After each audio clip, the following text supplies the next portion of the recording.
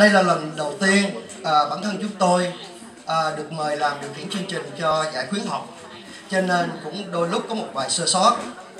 À, chắc quý vị cũng là cũng cũng cũng nhận thấy là bao hồi tôi xưng chú hoặc là xưng thầy hoặc là kêu các con các em.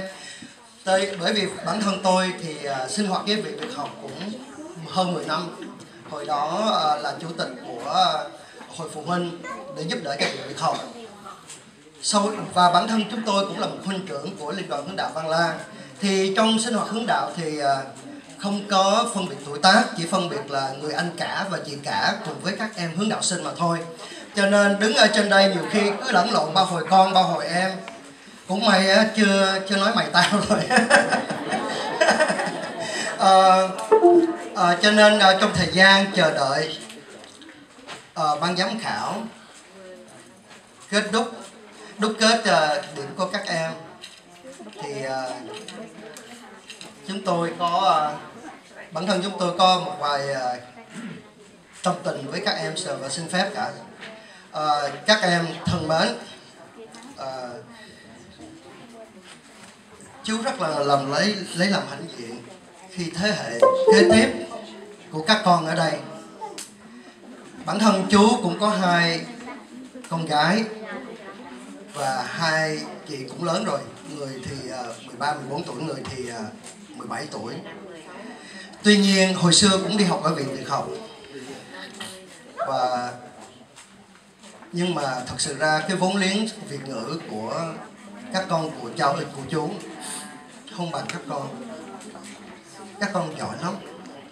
Không những các con nói tiếng việt giỏi, mà con, các con hiểu được những gì mà cô hỏi hỏi mà có những cái câu hỏi bản thân chú cũng không biết chẳng hạn giống như vua hùng vương thứ sáu.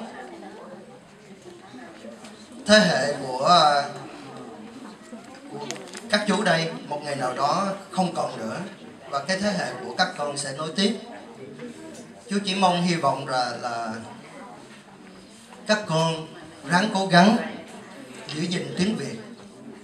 Và cái quan trọng nhất là cái hồn việt chúng ta có thể không nói rành ngôn ngữ tiếng Việt, bởi vì chúng ta sanh ở Mỹ, các con sanh ở Mỹ này, chúng ta sẽ, các con sẽ là người Mỹ. Tuy nhiên, cái hồn Việt, cái tâm Việt của mình vẫn còn thì các con sẽ mãi mãi là người Việt Nam. Và tương lai của đất nước Việt Nam sau này sẽ nhờ các con gánh vác. Chú, bản thân chú rất là trân trọng và cảm ơn các thầy cô, cảm, nhất là thật sự ra cảm cảm ơn các thầy cô đã làm một cái nhịp cầu giúp cho thế hệ kế tiếp được bảo tồn và phát triển nền văn hóa của người Việt Nam ở hải ngoại. Tuy nhiên, nếu mà không có các bậc cha mẹ và phụ huynh, thì sẽ không có các các cháu ngày hôm nay. Cảm ơn quý vị tất cả và là cũng là một người sinh hoạt với cộng đồng với lại uh, truyền thống hướng đạo cũng như là việc truyền thống đây là một điểm son. Chúng tôi xin tri ân tới tất cả mọi người. Cảm ơn tất cả.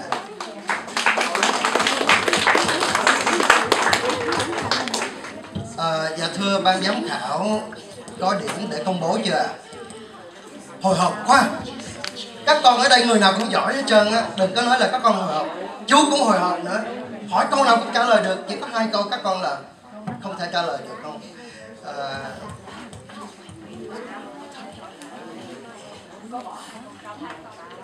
có hai câu trống mà chúng ta bỏ không không có là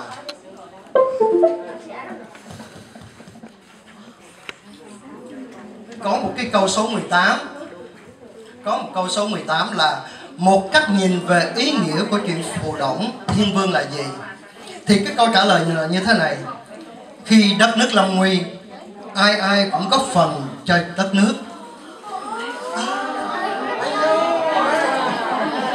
Sau khi đất nước thanh bình và sau khi đất nước thanh bình thánh giống là một vị anh hùng không màng danh lợi và bỏ đi.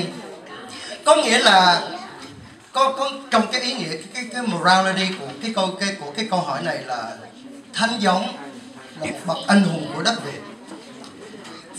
Ngài không màng danh lợi, khi mà đất nước Long Nguy cũng giống như các con nếu mà đất nước Hoa Kỳ này là nơi quê hương thứ hai của các con.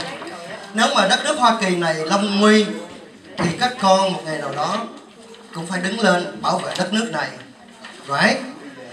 Nhưng mà chúng ta không phải là chúng ta bảo vệ đất nước để mà chúng ta khi mà đánh thắng được quân thù, chúng ta được được là phong tặng là được nhà cao cửa đẹp tiền bạc. Nhưng mà đó là nghĩa vụ của chúng ta. Đất nước của mình thì mình gìn giữ. Nếu mình không gìn giữ thì một ngày nào đó mình đâu còn đất nước để mình ở đúng không? Giống như các bậc cha ông của các con à, ông bà cha mẹ của các con rồi bỏ Việt Nam.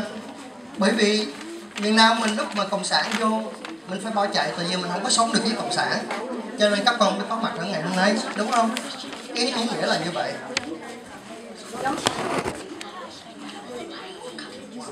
Đừng có nói, chú cũng không trả lời được đâu.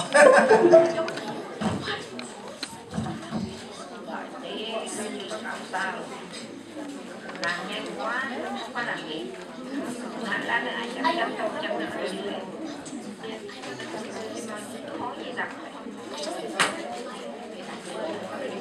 à còn cái câu số 9 câu số 9 nãy mình bỏ qua đúng không? Bây giờ chú cho con cái à, cái à, cái đáp án nha. Đùm và bọc là hai chữ liên quan với nhau thế nào? Và trong bài ta yêu đùm bọc có nghĩa là gì? À, cái cái cái câu trả lời là hai chữ này đồng nghĩa của nhau giúp đỡ. Các con hiểu chữ đùm bọc không? Đường bọc ha nó là giúp đỡ khi mà mình giống như mình khe mình ôm trên tay bây giờ các con hiểu rồi chứ gì tiếc quá ha. nãy mà trả lời được là thêm được 10 điểm nữa rồi Kính thưa quý vị, các em học sinh thân mến, chúng tôi ban giám khảo xin tuyên bố kết quả rất là xích sao của hai đội. Đội Westminster mục vụ được 116 điểm và đội Ca Giao 2 114 điểm. Có hai em đồng điểm là em Vũ Lan Anh, Nguyễn Vũ Lan Anh 50 điểm và em Đỗ Phương Tina 50 điểm wow Hai điểm này đều dưới cái điểm mà chúng tôi có thể cho cá nhân xuất sắc nên chúng tôi chỉ có thể tuyên bố đồng hạng thôi. wow nhưng mà rất là giỏi Dạ. Ờ, Dạ, dạ thưa ờ, chúc mừng hai đội. Chúng tôi ờ, rất, rất là hãnh diện về các em vì hầu hết các câu hỏi đều hoàn toàn 10 điểm. Wow Ban giám khảo rất là vui và rất hạnh diện về các con. Cái thành tích của các con đạt được Excellent. Bởi vì It's so competitive, Right? Có hai điểm thôi.